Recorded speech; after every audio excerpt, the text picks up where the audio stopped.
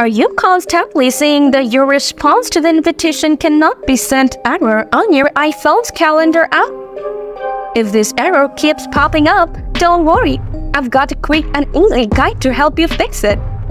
Let's jump right in. Solution 1. Sync your other accounts to the calendar. Start by opening the settings. Then scroll all the way down. After that, tap on App. Now tap on Search. Next, type in Calendar. Find the Calendar app in the results. Then tap on Calendar Accounts.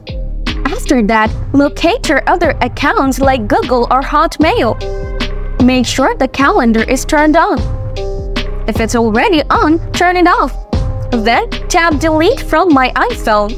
After that, turn it back on again. Solution 2. Sync iCloud with the Calendar app. First, open your settings. Then, tap on your Apple ID at the top.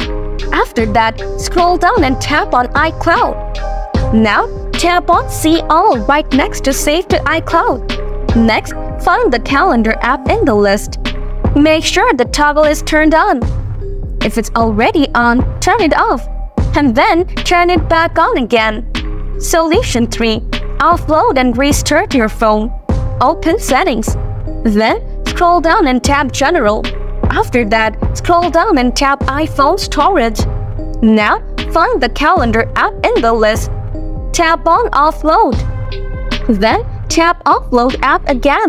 Finally, tap Reinstall the app.